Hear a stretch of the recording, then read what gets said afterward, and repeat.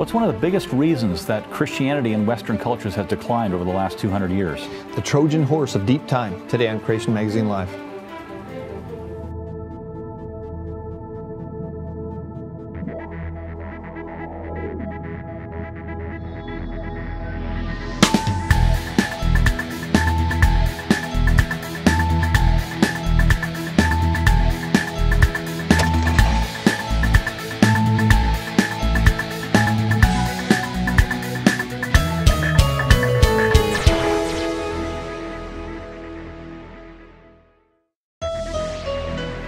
Welcome to Creation Magazine Live. I'm Richard Fangrad. And I'm Calvin Smith. Now, today we're going to be talking about, uh, well, the title is The Trojan Horse of Deep Time, how Right. deep time infiltrated the church over, uh, well, quite a while ago. Right. Um, it- it's going to be a little bit different. This article, this, uh, this uh, show is actually based on an article that you did, Cal. Right, right. Uh, by the same name, and it outlines the collapse of biblical authority in the Western world, in Christianity in the Western world. Uh, and, and, why that happened in a, in a story like fashion. So we'll go through that story with the analogy of the Trojan horse. Right. In, in the famous tale from, from Homer's Odyssey, the fortress of Troy was defeated by the Greek army uh, by leaving a large wooden horse, of course, secretly filled with, with uh, soldiers behind as a supposed gift. And the Trojans willingly took it into their gates, allowing, the, of course, the hidden force inside to, to, to take over the, the fortress, right? And, and defeat the, uh, the army that was inside the fortress. Yeah, today a Trojan horse, that's used as an, an analogy, it's a metaphor to symbolize a strategy uh, that allows an enemy to infiltrate and defeat a seemingly invincible foe. Right. Trojan horse strategy and so on. It also often implies that uh, if it wasn't for obvious reasons of pride or inattentiveness, Right. On the part of the victim, the ploy wouldn't have succeeded. So there, it works on multiple levels there. Right. In other words, the injured party uh, should have known better. That's, that's the bottom line. Right. Now, what we're going to do in this story is use it as an analogy to what happened to the church in once great Christian nations. Exactly. I mean, if you think of the Western Church, even up to maybe 100 years ago, as a, as a strong fortress, right? Towers proudly displaying banners of faith, uh, her watchmen trumpeting the call, announcing the salvation available for sinners because of Christ's sacrifice. Uh, think of how the church, church used to send streams of emissaries. Uh, around the world, uh, winning souls, breaking Yes. down strongholds, freeing captives, defeating the enemy on his own ground. Um, Christian soldiers, armed with the sword of the Spirit, boldly uh, championed the, the cause of Christ, made inroads across the globe. Uh, on her home ground, uh, Christian leaders taught God's word boldly so the men and women of God raised godly children, um, so that there, there were more believers, right? Uh, raised up just as the scripture commanded. And of course, God's word was proclaimed uh, as the ultimate authority over man in, in the Western world countries. Yeah, the church was once like a fortress, like this fortress of Troy and so on. Her towers proudly displaying banners of faith, her watchmen trumpeting the call announcing salvation available because of Christ's sacrifice. And now, Right. the story's different. It's completely different today. Uh, the fortress is being assailed from all sides, including assaults from within, uh, unfortunately. Uh, her soldiers are often ill equipped for attack or defense, uh, for both. Uh, both those. Wolves are in the fold, and infighting is commonplace, unfortunately. That's what we find in churches today. Uh, many collaborate with the enemy, and vast numbers have abandoned the post and uh, freely joined the enemy's camp. The authority of God's word is openly questioned, even within its own walls. The proclamation of the gospel is hindered, and the trumpet's clarion call is unclear. You know, t- today has, has, has always been the main battleground for the church is the concept of biblical authority. So Yes. if the, if the Yeah. Bible doesn't have to mean what it plainly says, then obviously it, can- be interpreted to mean whatever the reader wants it to. And so, so therefore, fallible man becomes the authority over God's uh, revealed Right. truth. Yeah. So we'd expect non-believers to question the authority of God's word. But if a professing believer lacks confidence in the Bible, then of course double-mindedness is what you're going to get. Okay, so, so what happened? There's, there's been a change. What happened? Christians understand from the Bible that there's a real enemy that prowls around seeking to destroy and devour. That's, that's Satan. The Bible talks about Satan. The Bible describes Satan as both extremely intelligent and sly. Right. Um, undoubtedly, he knew a frontal attack to discredit God's word would not likely be successful. That would raise the, Be too obvious. Be too obvious. Yeah. A better strategy would be to concoct a plan to do it secretively, to uh, to unlock the gates from within and allow doubt to creep in and confusion to come pouring in, and uh, that idea would not uh, cause obvious offense.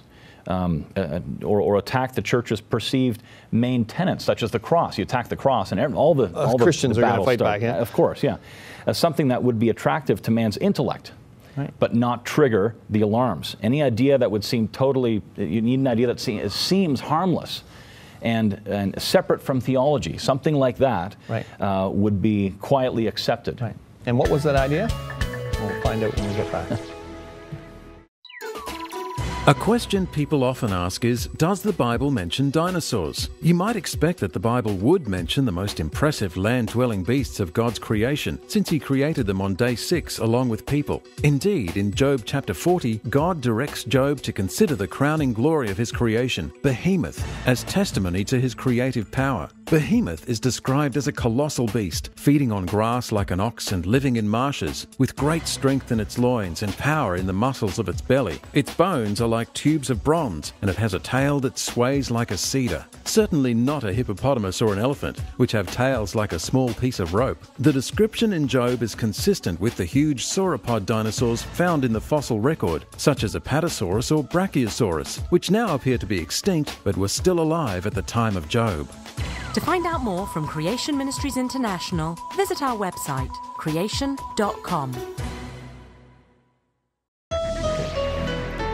If you just tuned in, we're talking about, well, the title is The Trojan Horse of Deep Time, how deep time infiltrated the church slowly, like the, using the metaphor of the Trojan horse. Right. Kind of the way it happened.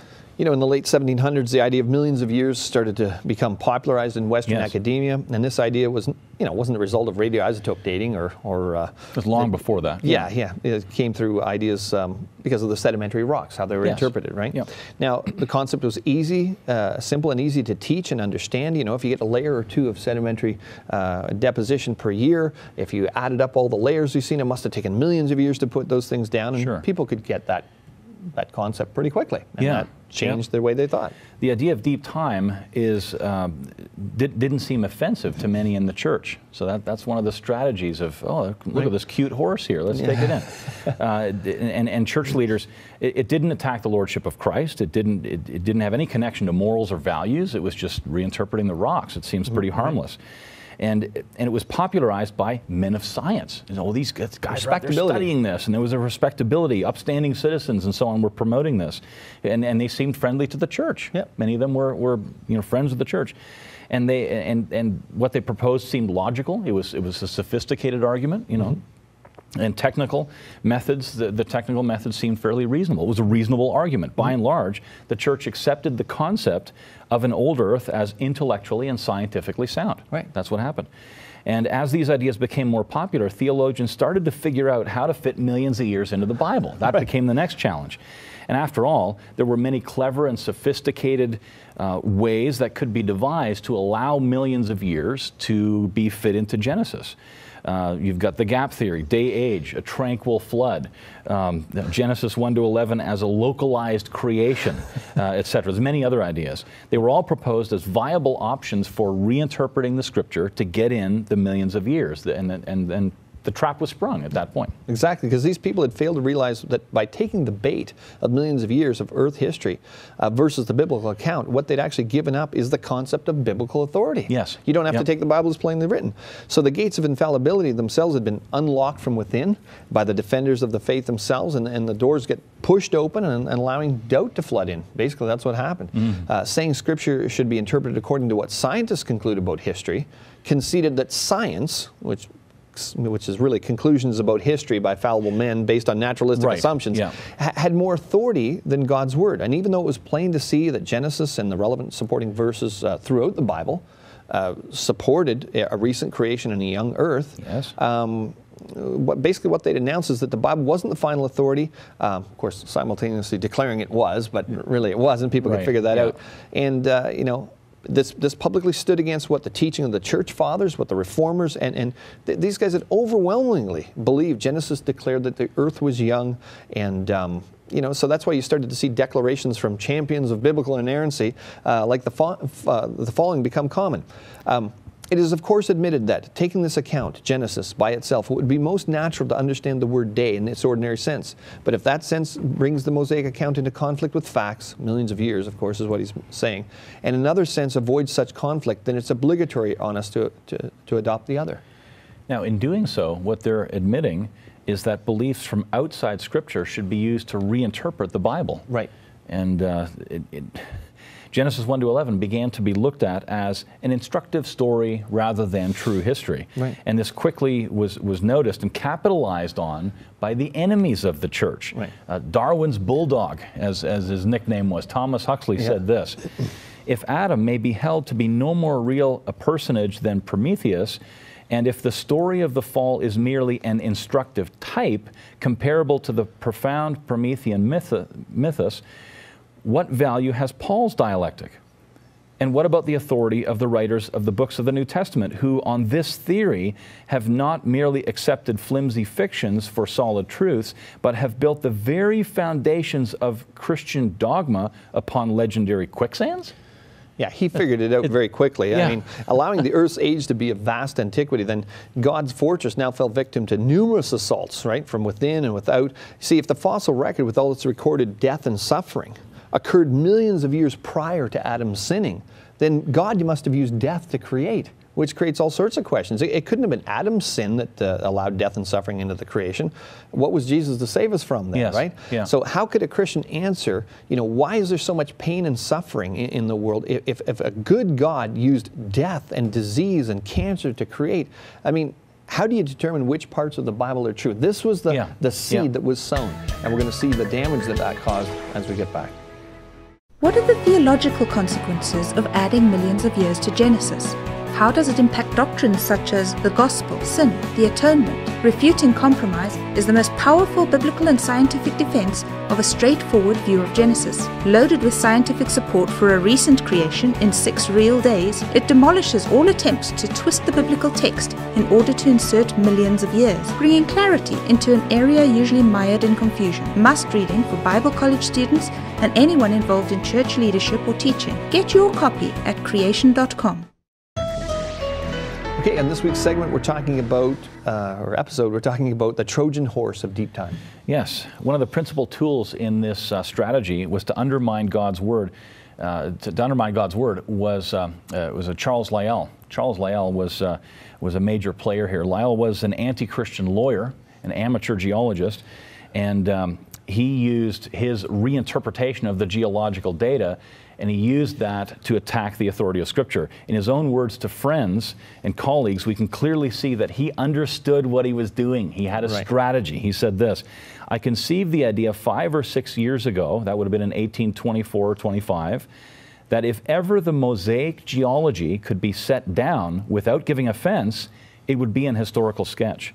And you must abstract mine in order to have as little to say as possible yourself. Let them feel it and point the moral. Right. He's talking to a friend of his, Poulett Scrope, and he's saying, "Look, Yeah. just just show them this is different history, and then then they'll feel what the effect is on on Yeah, their, their yeah. Bible." He he knew that there was going to be some resistance from the church, but trusted that if he was careful enough not to cause offense, and if he appealed to the intellectual aspects of his now largely disregarded geological ideas, he could actually get help from those inside the church to, to undermine, and, and he'd actually use compromising clergy to accomplish his goal. He said this If we don't irritate, which I fear that we may, though mere history, we shall carry all with us. If we don't triumph over them, but compliment the liberality and candor of the present age, the bishops and enlightened saints will join us in despising both the ancient and modern physico theologians. It is just the time to strike, so rejoice, sinner that you are. The quarterly review, a publication which he was trying to get his ideas into, is open to you. Yeah. I mean, it's, it's just blatant what Yeah, he, he he's the guy that's pushing the horse through the gates. You got it. You know, it's Lyell's concept of overthrowing the geological conclusions outlined in Moses' writings. That's the global flood. yeah. Uh, Were, it was very successful, and that paved the way for Darwinian evolution. You need millions of years in place before you can have Darwinian evolution, because Right. evolution takes millions of years. The Western world was forever changed, the church was changed, and while many Christians seem not to understand what happened, honest Bible skeptics admit this. Uh, E.O. Wilson, here's a, a, a skeptic. I myself have little doubt that in England it was uniformitarian long ages, in, uh, geology, and the theory of evolution that changed us from a Christian to a pagan nation. Here's a skeptic that Right. understands how this Trojan horse worked. Right. Compromising God's words with man's fallible ideas doesn't help the cause of Christ. No. Lyell's ideas of uniformitarian geology were are uh, they're widely dismissed as illegitimate by modern geologists, right? Right. And yet his faulty ideas were allowed to creep in virtually unchallenged into the stronghold of biblical authority. You know, nobody, yeah. not too many people believe them today, but they worked back then. The watchmen should have identified these ideas. They, they don't match up to God's word. They should have sounded the alarm, right? Yeah, yeah. Men like Charles Darwin knew exactly how to attack the church, and yet very few in the church seem to discern it, or even today. You know, mm-hmm. look at these quotes from Darwin. This is in a letter to, he sent to his son, who also was undermining the church, as Okay. he, he'd learned from his father. This is Darwin's word. Lyell is most firmly convinced that he has shaken the faith in the Delusion com- company far more efficiently than never having said a word against the Bible than if he had acted otherwise. So he, he, he knew completely what he was doing. He Yeah. knew that by undermining the flood and promoting millions of years, it undermined biblical authority. Exactly. And he, and he uh, admitted that the best way to undermine Christianity was to do so slowly with side attacks. He Right, said this right. I've lately read Morley's Life and Voltaire, and he insists strongly that directly. That direct attacks on Christianity, even when written with the wonderful force and vigor of Voltaire, produce little permanent effects. Real good seems only to follow from slow and silent side attacks. Wow.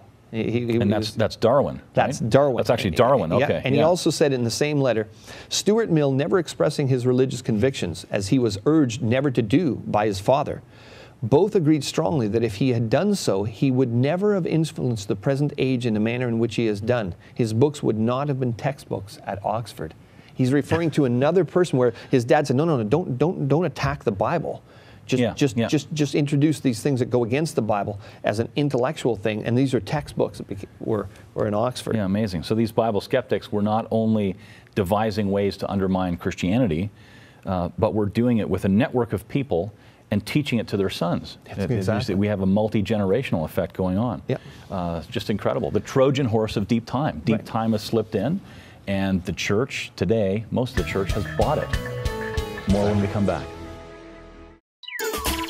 When most people hear the word explosion, they often think of destroyed buildings and injured people. But geologists have long recognized a different type of explosion in Earth's sedimentary rocks, known as the Cambrian explosion. Cambrian rocks are a group of rocks found around the world in which we find fossils of many of the major animal groups. This is significant because pre-Cambrian rocks found below the Cambrian don't generally contain much fossil material, but then in the Cambrian there are fossils in abundance. In fact, this transition is so dramatic that some call it the Cambrian Big Bang. But probably the most devastating impact of the Cambrian explosion is the damage it does to evolutionary ideas, even with evolutionary dating notions. Since most major animal groups appeared suddenly in the fossil record without ancestors, the idea that all life evolved slowly over time becomes very hard to swallow. To find out more from Creation Ministries International, visit our website, creation.com. All right.